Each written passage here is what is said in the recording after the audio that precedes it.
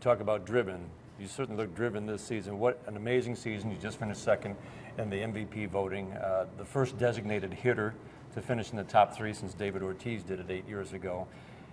Can you just describe what you feel really clicked this year? Because at 35, arguably your best season in terms of the batting average plus the power component and the great consistency from the start.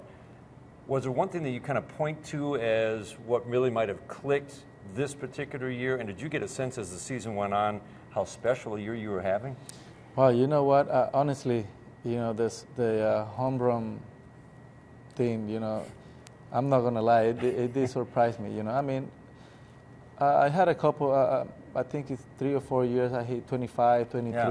you know, 20, and and uh, you know, at one point I was like, you know, wait a minute. I mean, what is going on here? but, Especially uh, from the right side too. Right, and, and, and, you know, I was just focusing every every time that I, I'm gonna make a swing. I was just focusing to put the good the good part of the of the bat on that baseball, and and uh, it's something that I I learned from my beginnings. Yeah. That, that I got tired to give a bats away, and you know at one point I said, I mean, if I'm gonna be an out, um, at least I'm gonna make him throw three pitches, you know, and and just for being a catcher, it, it helped me out a lot. I think uh, uh, you know pitchers miss a spot a lot, and and you know when you that's why you see no hitters, mm-hmm. you know, perfect game. When you face a pitcher, they come, you know, throwing the ball right where they want it. It's tough to hit, but uh, uh, uh they're not machines, you know, and they're trying to hit this, this side right here, and they end up giving you a, a, a, cookie right in the middle or a pitch where you know they're not supposed to throw it. So just for being a catcher, I, I noticed that and just trying to take advantage of it. Yeah, because a lot of times you'll, you'll hear catchers say they'll put all that knowledge to use, but by the time they really can put it all to use in their 30s, it's probably too late for them as a mm-hmm. hitter. But you really feel like now you can put all that knowledge to use, and clearly all the mechanics and the bat speed is still well, there I to think, take advantage I think, of. I think another thing that helped me a lot was that, you know, coming from that injury from 2012, you know, last year, I, I felt that I, I, didn't, I didn't have my legs, you know. Till about mid-season, right? Yeah, and then you know I went into the off season, and I told my wife, I even told my agent, I I'm gonna work my legs like I used to, you know, when I was catching every day. I still, I still till today, I still in the off season working like I'm catching every day. Even that I I, I know I won, but right.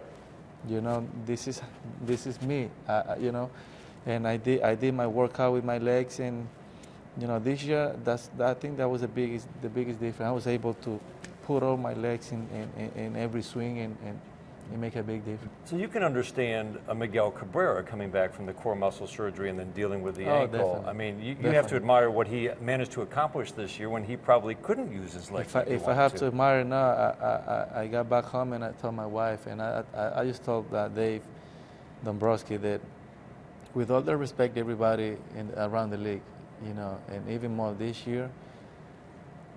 I haven't seen a, a, a hitter. For me, he got to be he got to be the best hitter in the game because uh, I, I, was with him the whole year, you know, and basically he was playing in one leg all year long. And wow. if you tell me that I'm gonna have his number next year, I'm gonna take I take it right now. We close a deal right now.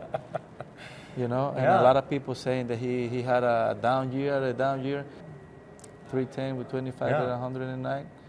You know, those are MVP numbers, and for somebody to be able to put those kind of numbers it, the way he did, right. It, it's ridiculous. You know? When he's healthy and going great, and again, it was good this year, but not quite what it had been before. What is the impact on you hitting behind him? Well, I just got to be ready because I know they won't pitch to him. I just got to be ready, you know, and that's something that I, I, I, I love to hit in that situation. And, you know, I, something that I've been doing in my whole career. You talked about the goal, obviously, winning a World Series. When you watch the postseason like we just saw, with two wild card teams making it to the World Series, do you look at it as saying, I mean, our goal is to make sure we reach the postseason, and then it's really kind of a, there's some luck involved, it's kind of a crapshoot, and, and it just, it, it, sometimes it's just not going to work? Or do you look at it and say, okay, we can learn from what we've done in the past years, this is how we get to the World Series?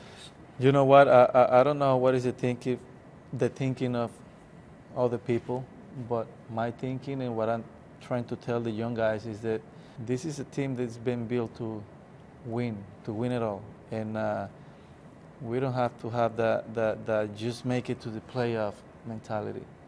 You know, if we don't make it, obviously it's going to be a, a big disappointment. Right.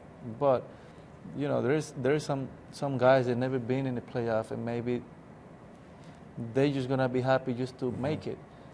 You know, not for me and not for a lot of my teammates. You know, and this is what this is why I talk every day in the clubhouse, and I'm keep repeating it, keep repeating it, keep repeating it. I I, I say it's when you go to school and you had a test, and you study and you're ready for that test, right? you know, for me as a baseball player, I started working out early in the off season, get myself ready, and and and I'm assuming the rest of my teammates are doing the Yeah. same thing because this is not a one-man sport. You know, we need all 25 guys to to accomplish that the ultimate goal. And and you know what? If I'm busting my butt, getting ready, and be ready to play 162 plus, you know, I'm counting on my teammates to do the same thing. This is why the Tigers wanted you back. I don't think there's any question about that. But as you said, there's work to be done, and you're going to lead the way, and we're, we're so thankful that you're back, and we can't wait to see uh, what happens next year. Thank you very much. Thank I you, appreciate Victor. it. Thank Appreciate you.